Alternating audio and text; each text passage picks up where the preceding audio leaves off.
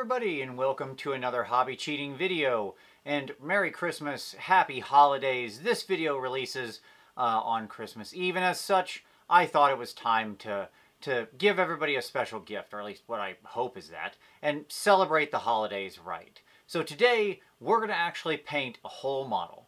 I'm going to take you through my process, my thoughts, my decisions, everything I do in painting one entire model from beginning to end.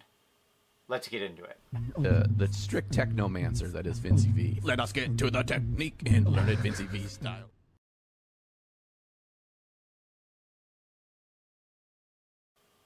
Since it is Christmas time, there's really only one thing we can paint.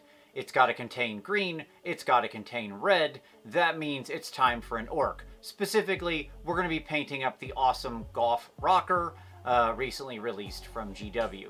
This is such a fun model. I love orcs. I love when they're goofy. I love weird rock and roll chaos and orc things uh, for no reason. Like, it's just absolutely fun. So today we're going to break him down to all the component parts. We're going to talk about orc skin and we're going to talk about using color and all of those things to make a fun sort of Christmas themed orc who knows how to rock and roll. So Merry Orcmas, let's get over to the desk. With a model like this that I'm looking to take to display quality, but it's not for competition, I want to try fun things. I want to do fun things. I want to make sure it stays interesting to me to paint. And so these types of models, where you're doing them as a one-off, you know, this isn't part of any army, this isn't part of any larger project, this is just for pure fun. These are the models that when you get your hands on them, experiment. Try some freehand, try some new paint, some new colors, right? Give yourself the gift of getting rid of the guilt of what if I fail? What if I mess something up? Who cares? It's a one off. It doesn't matter. And if you learn, well, that's the best gift of all. Alright, the paints are going to scroll up top, so I'm not going to focus a lot on that. We're going to talk about technique and the choices I make. That's our goal here. This is an orc, and we're going to work inside out. And so we start with his skin. And I'm laying down this sort of very rich green base, uh, even though eventually I'm going to tilt a lot of this into the yellow green, because I want it to have that, that richness, that saturation underneath. Now I'm using and working up into yellow as a highlight. All the colors that I'm integrating here add more and more effective yellow to the green. I could have done this all just through mixing the two colors themselves, but it was more interesting to use these exact tones. And the reason I'm using yellow is twofold. First, it's much more translucent. And so I'm working in very gentle layers here. Even though the transition might seem quite strong when you first see it, when you first see it go on as I'm painting it in the video, once it dries, it's so translucent that I don't have to deal too much with layer lines and things like that. I can get nice smooth transitions, though we will still glaze later. The second reason I'm using yellow is because yellow just has a higher luminosity. Luminosity, sorry. And so it just catches the eye. It's a lot more bright, it's a lot more vibrant, it's a lot more alive. And so our orc here needs to be flashy, he needs to be eye grabbing. I mean, he's a rock star. So hence, we want that piece to really jump out. The integration of the yellow into the skin tone and in fact highlights all around the thing will use yellows as I said a sort of universal highlight color uh, will help establish him as you know living in this place with this light this yellow this warm light now, as I build up the muscle structure, again, notice how I'm still connecting some of the muscles together with the mid-tone highlights. I don't just highlight each individual muscle group. Some of them become connected, some of them retain their deeper shadows. As I get into the highest highlights, that's when I start only working individually each little tiny area. So this is a thing that I see people screw up on a lot. And it's something that you just sort of have to establish over time, but you're the easiest way I can say it is on upward facing areas, your shadow color is your midtone. That is as deep as it ever goes. Now that I have all those, there is still layers there, even when we're using something soft like yellow, because acrylic paint just isn't meant for blending. It's terrible at the thing. Um, use oil paints if you want to blend easily. And so we're going to have to go in with glazes. And here I'm going to do multiple glazes up and down the color spectrum. The skin should feel very, very smooth. It's the main show here. It's the main attraction. And orc skin is naturally very interesting, being green and having this yellow highlight as I have it. So we want to really spend our time here to make sure that this pops, that this is smooth, that it feels like skin. Uh, so as I work these glazes around to get these uh, slight color variations of value effectively right now in place and smoothed out, uh, that's mostly what I'm focused on. It's just are the values in the right place and are the transitions happening smoothly. Uh, as I work though now, now we need to bring in tonal variation of hue. That means it's time for the red tone. Red tones, especially on green skin, communicate life. Red tones in general communicate life. Human eyes and the human brain has a real bias towards seeing red in skin. We see that as being blood, vitae, life. And so, using it as a soft shadow color throughout on his elbows, his knuckles, uh, and in the actual shadows of his muscles can do a lot. Integrating it into things like his lips, his tongue, around his eyes, and his nose also helps him feel more alive. Now, is this guy wearing lipstick? I mean, probably. Rock stars wear lipstick, so he does too. But I'm carrying those colors to these other areas as well. So there's red integrated throughout, which, of course, because we're dealing with green as a contrasting color, will really pop. The veins, I'm not trying to make red, I'm just popping those out of the skin and making them slightly brighter colored than everything else so they stand apart from the surfaces they're on. With the skin intact, it's time to really turn to our Christmas colors. Now, I've seen most people paint this jacket black, and I suppose I get that, the whole black leather jacket thing, but that's boring to me. I went for red. We're making a Christmas orc. And at the same time, why use black just for our shadows when we've got perfectly good red and green right here, ready to make a sort of chromatic shadow that's much more convincing? Using your contrasting complementary color uh, to create your shadows is a really great effect, especially with red and green, the two colors where it sort of works the best. And I really love the effect this green has uh, when put onto the red. Now, when wet, it's going to seem slightly more green, and you might think, oh no, what have I done? However, when it dries and it's exposed to the natural shadows that are going to happen as the miniature's sort of sitting straight up and down and the natural shadows are falling on it as well, it will become darker and let much less expressed. We're also going to tackle it slightly uh, in another way here in a moment. My next step, of course, is to smooth out some of the transition of the shadow, and so with a very thin whole red glaze, I'm going to bring some of that back into the spectrum and again just smooth down those shadows, make them feel a little more natural. Occlusion shadows are really important. They are effectively the very small shadow that separates the various elements. Our brain, again, subconsciously expects them. And so, anytime there is an area where two different uh, levels are meeting, so for example, his skin and the jacket sits on top of it, or the pocket sitting on top of the jacket, or so on, I'm working that very dark line in between. Those dark lines are important. Not only do they help the paint job feel more clean, and uh, like the lighting is more realistic, but they also help your brain read the miniature better, which is really important. Now that it's time to set some lighting and I want it to match the skin, he's effectively lit above and slightly to one side, and so we're going to match that with the jacket. Um, highlighting mostly uh, on the top and to one side to create uh, direction in the lighting. In general, I find directional lighting, i.e., you know, there's sort of one sun and it's sitting in one direction or something like that, to be far more interesting than a sort of diffuse general all over lighting, but your mileage may vary. That's, but they're both perfectly valid styles. And then, of course, we've got to pick out the edges. And here I'm integrating Sunny Skin Tone, another yellow influenced color. I didn't want to use one of the pure yellows as I didn't want to turn the jacket orange. So instead, Sunny Skin Tone stands in being a sort of yellow orange derivative uh, that will also make it feel like it's in the same color family. The problem is doing all this highlighting and shading has knocked all of the saturation out of the jacket. So we're coming in with that nice intense red glaze, and this is very, very, very thin, uh, just to reinstantiate some of that life and vibrancy into the jacket. Now, he does have these tiny little spikes and details all over his jacket, and for the most part, I'm completely ignoring those. When you have lots of micro details on a surface, you just ignore those to begin with, treat it as one large volume, and then as you work smaller, you'll then go in and handle those. Speaking of which, I then turn all of the spikes black, as that will be a good base for the metal later. But of course, now it's time to travel to other parts of the miniature. Now, I'm always a fan of this secret weapon rubber as pants on my orcs. I don't know when this started. I think probably with my Ironjawz army. But I just like gray pants on orcs. I just think it looks good. It's a nice neutral tone.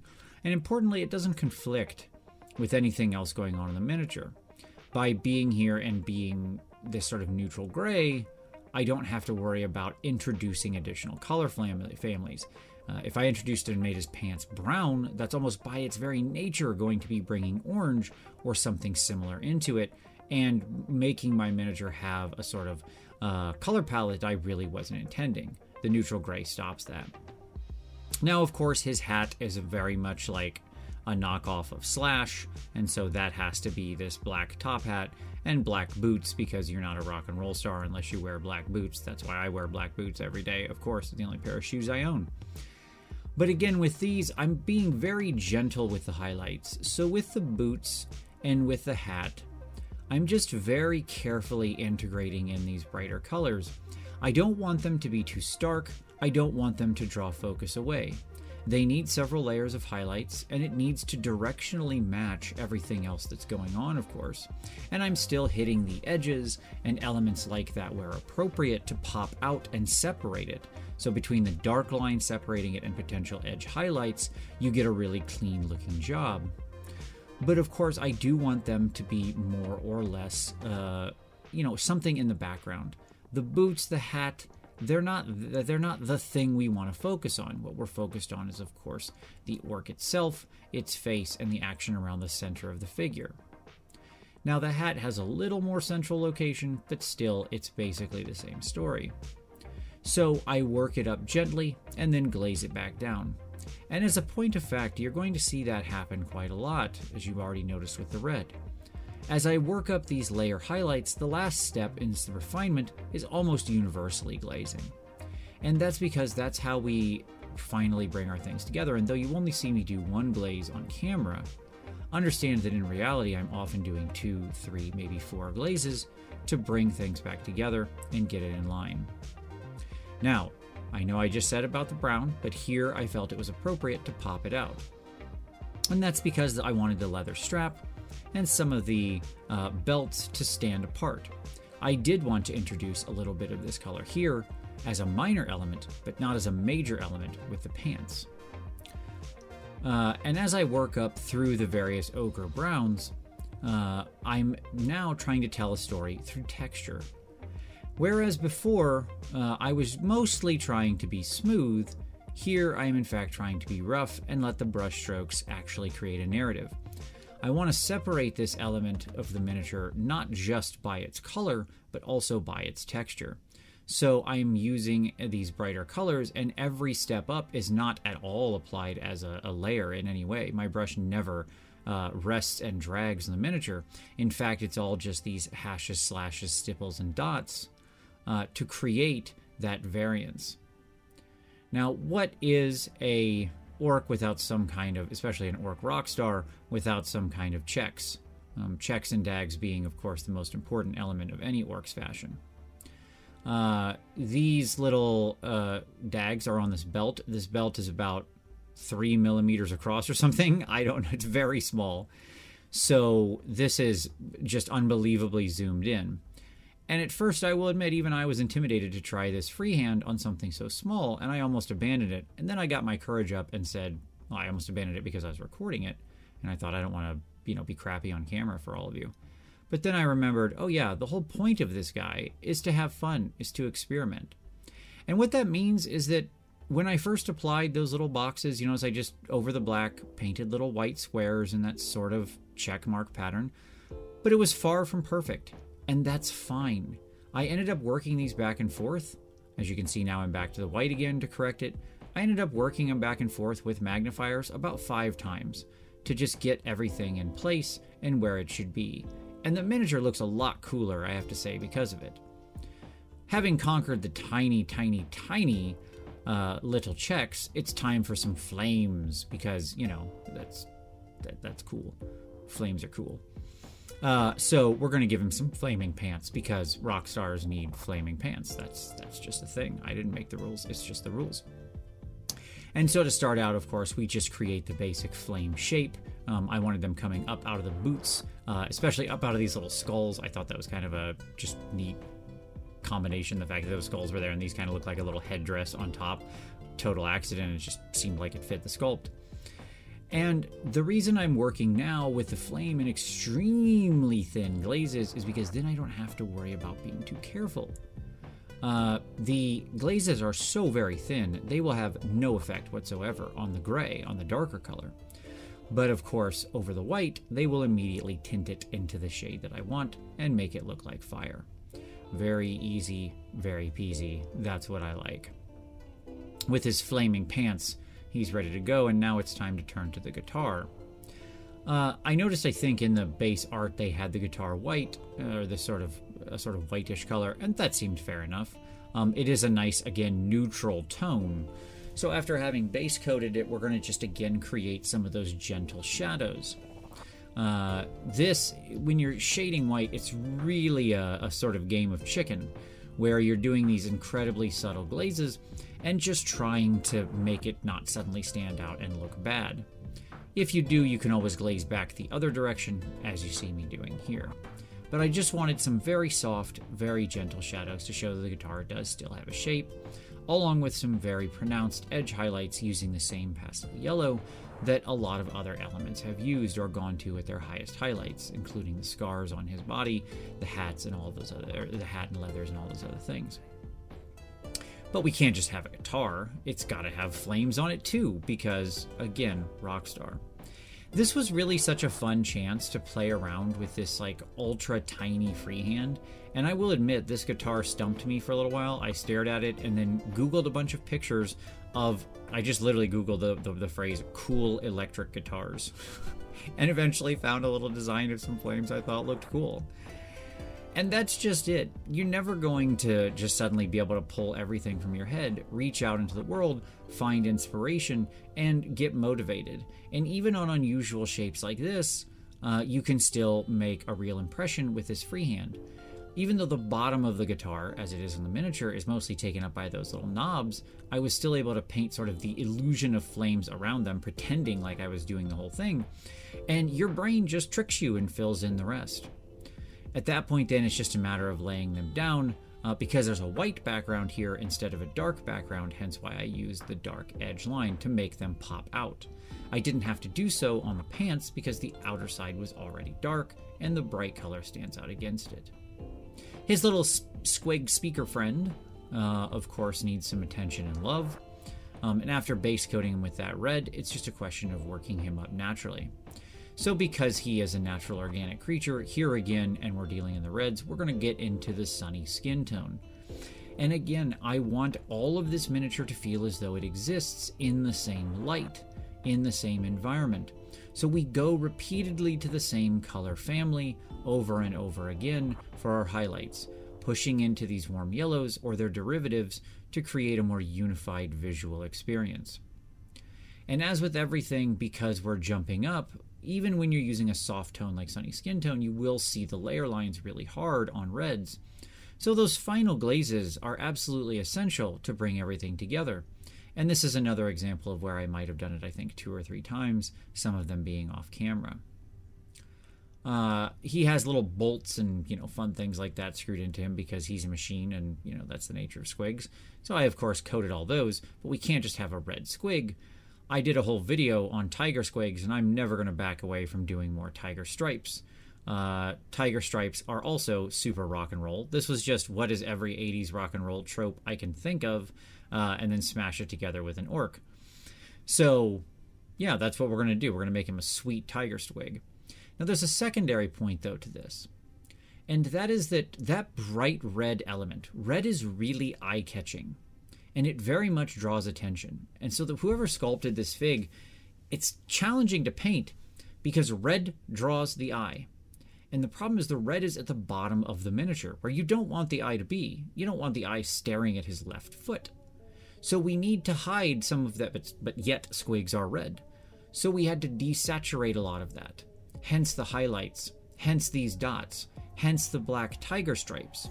By bringing a lot of other colors in here, by creating and instantiating other little elements that break up that red, we disrupt its power and ability to simply draw the eye where we don't want it and allow it to then move back around the miniature over to the red jacket, the red band on the helmet, and those other things that will be attention grabbing.